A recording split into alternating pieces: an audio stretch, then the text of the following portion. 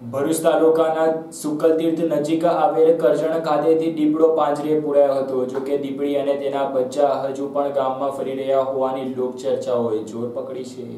ભરૂચ તાલુકાના સુકલતીર્થ પાસે આવેલ કરજણ ગામ નજીક રમેશભાઈના તબેલા નજીક થોડા દિવસ અગાઉ દીપડાએ એક વાછરડાને શિકાર બનાવતા તબેલાના માલિક અને ગામવાળાની રજૂઆતને પગલે ફોરેસ્ટ વિભાગ દ્વારા દીપડાને પકડવાની કવાયતના ભાગરૂપે ગામની સીમમાં પાંજરું મૂકવામાં આવ્યું હતું, જેમાં ગતરોજ રાત્રિના સમયે શિકાર પર આવેલો દીપડો મારણ ખાવા જતા પાંજરે પુરાઈ જવા પામ્યો હતો. સુકલતીર્થ બાજુના ગામોમાં અવારનવાર દીપડો દેખાવાની ઘટના અને લોકો પર હુમલાના બનાવો દિન પ્રતિદિન સામે આવતા ખેતીકામ અને તબેલાના વ્યવસાય સાથે જોડાયેલા લોકોમાં ચિંતાનો વિષય બની જવા પામ્યો હતો. થોડા દિવસથી દીપડાનો આતંક મહદ અંશે ઓછો થતાં લોકોએ રાહતનો શ્વાસ લીધો હતો. ત્યારે ફરી દીપડાનો આતંક સામે આવતા ફોરેસ્ટ વિભાગની ટીમ દીપડો દેખાયાના સ્પોટ પર પિંજરો મૂકી દેતા દીપડાના આતંકને નાથવા ફરી ગતિવિધિ તેજ કરી દેવામાં આવી છે. ફોરેસ્ટ વિભાગના અધિકારીના જણાવ્યા મુજબ, હજુ પણ દીપડી અને તેના બચ્ચા આ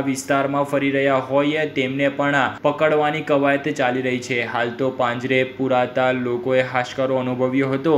આ દીપડાને ફોરેસ્ટ વિભાગ દ્વારા માઇક્રોચીપ લગાવીને કેવડિયાના જંગલમાં મોકલવાની તજવીજ આરંભી છે. Mahendra Kathwadiya R F O પેટા વન વિભાગ ભરૂચ, નોર્મલ. અમે રમેશભાઈના કહેવાથી આગલા દિવસે એમના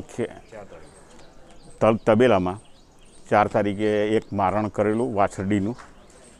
અને તે તેની ખબર પડતા અમે લોકોએ ત્યાં બે પિંજરા મૂકવામાં આવેલા. અને આજરોજ મોડી રાત્રે, ગઈકાલે મોડી રાત્રે આ દીપડો પિંજરામાં આવી ગયેલ છે. અને અમે અહીંયા રેવા વન ચેતના કેન્દ્ર પર લાવેલ છે. અને એને ચિપ્સ લગાવીને આજે સાંજે રાત્રે અમે કેવડિયા છોડવાના છે. આ સિવાય બે દીપ બે બચ્ચા છે અને બીજા બે દીપડા છે. એવું લોકોના મતે અમને જાણવા મળ્યું છે.